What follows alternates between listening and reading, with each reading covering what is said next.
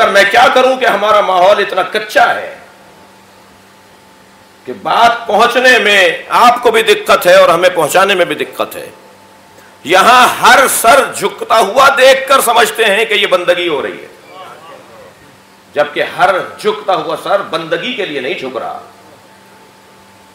اگر یہ بات روشن ہو جائے اس آئے کریمہ سے جو سورہ مبارکہ بنی اسرائیل کے اندر ہے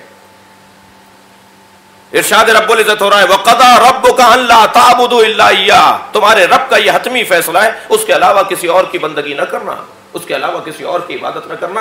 وبل والدین احسانہ مگر والدین کے ساتھ حسن سلوک رکھنا۔ اب حسن سلوک کا طریقہ بھی اللہ بتا رہا ہے۔ اما یبلغن عندك الكبر احدهما او كلاهما۔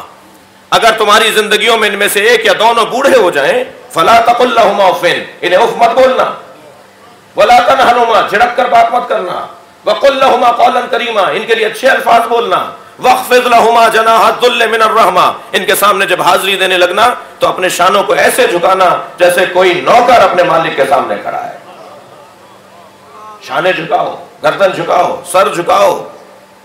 اچھے الفاظ بولو، دھیمے لہجے میں بات کرو، کریمانہ لہجہ اختیار کرو۔ یہ تعظیم نہیں ہے تو کیا ہے؟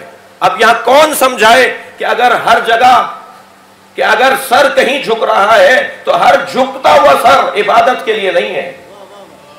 عبادت صرف اللہ کی ہے اور اللہ کے علاوہ جہاں جھکنے کا حکم ہے وہ تعظیم ہے، عبادت نہیں ہے۔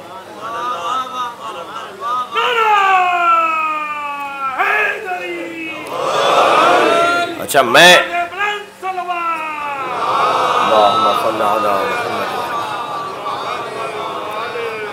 میں غیر معصوم ماں باپ کے آگے جھکوں تو یہ قرآن کا حکم، تعظیم۔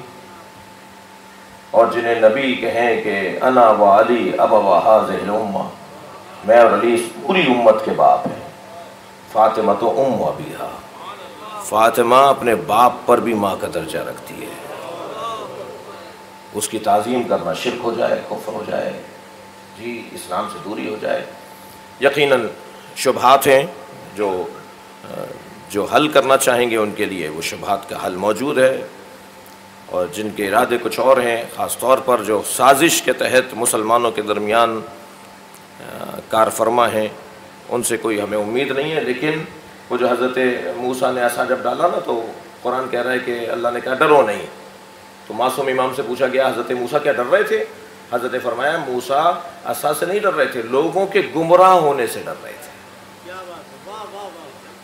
لوگ گمراہ نہ ہو جائیں اس منظر کو دیکھ کر جو وہ سانپ بن گئے تھی وہ لکڑیاں جو سانپ بن گئی تھی اس منظر کو دیکھ کر لوگ گمراہ نہ ہو جائیں۔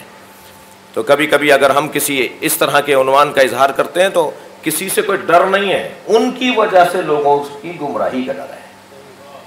اور اس کا ازالہ اور اس کا دفاع اور اس کے حوالے سے بات کرنا اس ممبر کا فریضہ ہے۔